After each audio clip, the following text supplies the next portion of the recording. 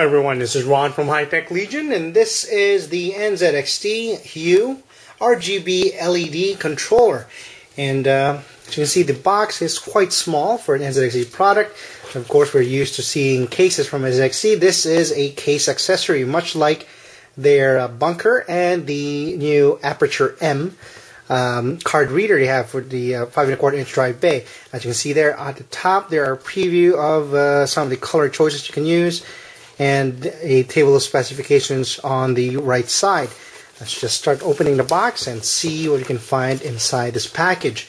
And first thing to see, of course, is the LED strip itself. Now, usually you can find um, LED strips in hobby shops uh, usually around uh, $20 for a single color of this length. This is, uh, as you can see there at the back, there's a 3M adhesive so you can stick it in your case and right on top they are actually uh, coated here. It looks like uh, uh, the, those those case badges that come with some products into your uh, with your maybe your video card, your motherboard. You attach your case. Uh, it looks the the top cover looks like that in here, and of course there's 24 RGB LEDs in this two meter long strip, which is about, uh, let me just do a quick conversion around 6.5 feet, if I'm not mistaken, for uh, those using feet to measure. And on each end, you can see here, there's a polarity. One is a female end and this end, and they also NZXT also included a cap for it, just in case you're not using it. And let's take a look at the other end here. It's like the business end. It has the polarity. Just uh, from closer you can see there in case you can't uh, see it still it says plus here in the top GRB so there's polarity there it's also a female end in this end so um, I guess they're both female ends let's uh, take a look at the rest of the package and see how we connect this with the 5 and a quarter inch device let's move the box out of the way and here it is. Uh, the interesting thing to note is that the buttons, let me just put it inside, they're not uh, protruding as much compared to other uh, analog knob controls that you've seen in other fan controllers. Of course, maybe this is a a design, uh, deliberate design by NZXT so that it is compatible with their cases that have doors like the NZXT Phantom uh, or the NZXT H2. Of course, we'll try to test that out later. It's here in the front. Uh, it has a little bit of mesh design here, and a, uh, these are actually um, the construction is plastic, but uh, it's simulated simulated uh, brushed aluminum here on the front. It looks uh, quite attractive. Looks like the uh, I think it was a Tempest 210 It kind of has that same look. It has the NZXT logo here in the front, and it has the the knobs here with the red, green, and blue knob. When they also double in function, and you can see that in brightness, and you just uh, basically press it to do that. And the power, you press that as well in the middle. And the mode, where you can toggle up to five modes with the uh, blue knob right here on the right side. Let's take a look at the form factor. It is, uh, technically, this is a full-size uh, 5 and a quarter inch device, since most half sizes only have the, the uh, screws in the front, so it has the uh, mounting holes in the back as well, so that technically you can uh, consider it a full-size 5 and a quarter inch device. And they also come with four screws in here so you can install it in your case. So it's a bit shorter than your uh, CD-ROM or other 5 and a quarter inch uh, optical devices you might install. And here, you can see at the back, you can see through the PCB here, a custom LED controller PCB and uh, program uh, there and the connectors. Let's see what these two connectors are. See, and also note that there is a little bit of cable management area in here where you can run around uh, since they provide a long cable in here for the power and the LED connector. You can uh, uh, run it around there and secure it so that uh, it doesn't, uh, if you don't want it hanging in, in, your case, but if you need more length, for example, you need to attach the, uh, the connectors farther to the back of your case, you can also do that. So let me just try to untie this so you can see the uh, connectors here. I'm seeing one is a power connector and one is of course for the LED. And see here, this should be a, since we, we saw that the ends of the LED strip are all female, this should be a male end. See there?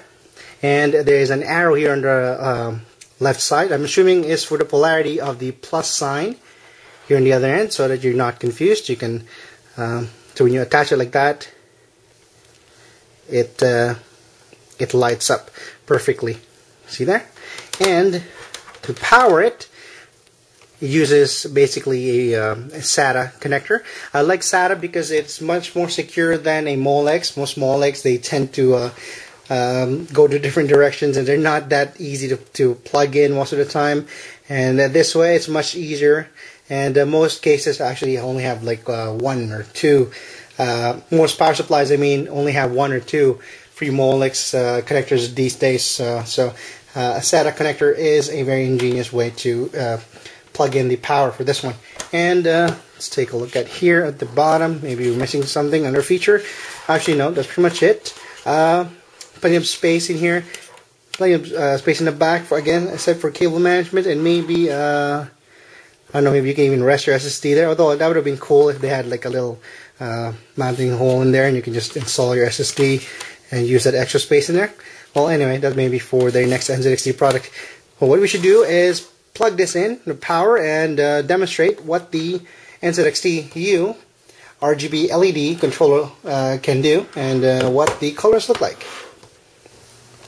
Alright, so this is what it looks like. We have it installed on the NZXT H2, which is a case that has a door. And normally that would be a problem for um, fan controllers and LED controllers that have a rotary dial. But as you can see, NZXT has designed the controls for the NZXT Hue so that even the NZXT H2, which has a door, can be closed without any issues. As you can see there, it doesn't uh, prop the door open. And we have the lighting installed in our NZXT H2 system in here. So I'm going to um, show you now the different various color combinations. I'm going to probably take it out again, much easier to see, or uh, maybe I'll leave it on and uh, adjust the colors and maybe demonstrate it uh, if you want. Uh, this is a default one and appears to be showing a light white color. Let me put the camera on the tripod right now. See if it is focused there. Okay. Let me pop the door open again. And see here, adjust the knobs. You can see some color changes.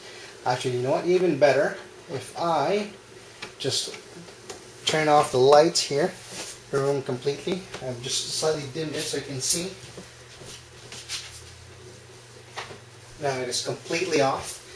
Um, should see a lot, the LED a lot better now, although you probably can't see the internal components that much better. And adjusting. The first uh, switch here is the dimmer, you can see here. If you uh, adjust all the way down, it'll be completely dark. But if you adjust it all the way to the right, it will be, you see, very bright there. And you can, let's see, let's push it in. See there? You can just switch between different modes. And see the middle one. See, add more green in there to make it more yellow can see. Looks very golden looks very good. See you can't do this kind of uh, color combination with some LEDs so it's good that the NZXT allows or the NZXT Hue allows you to make various color combinations of your choice you're not just limited to red greens blues and uh, whatever color choices are there. Let's see what the the fifth one or the third one I think adjusts the the blue U of course adds the blue to the mix. That's more white that's just the green down so we can see additional blue, something more purple now. And let's try to go through the modes. This one is the first mode, the flashing in there. Second mode is uh, appears to be pulsating. And third mode is alternating. the fourth one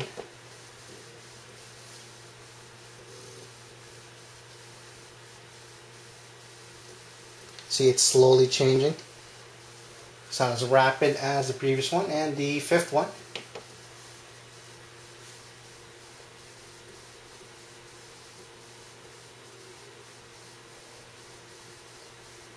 than that, you should have a good idea of what the NZXT Hue RGB LED controller can do by now. Uh, again, you can do various color combinations. You can put it in your case, especially if you have a windowed case. You can easily showcase your components.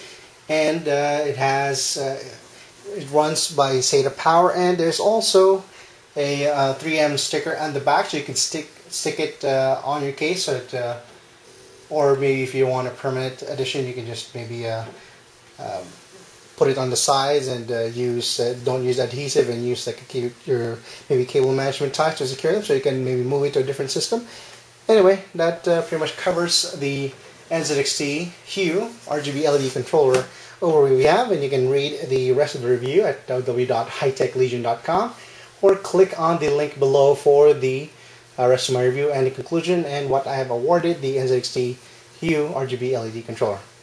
Again, thanks for watching and see you next time.